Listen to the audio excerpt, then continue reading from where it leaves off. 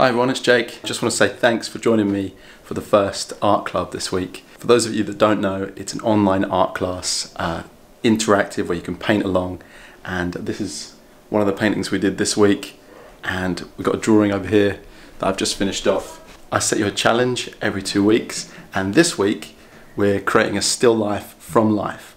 Okay, so I thought let's do it. Get some still life objects together and and yeah, let's paint a still life.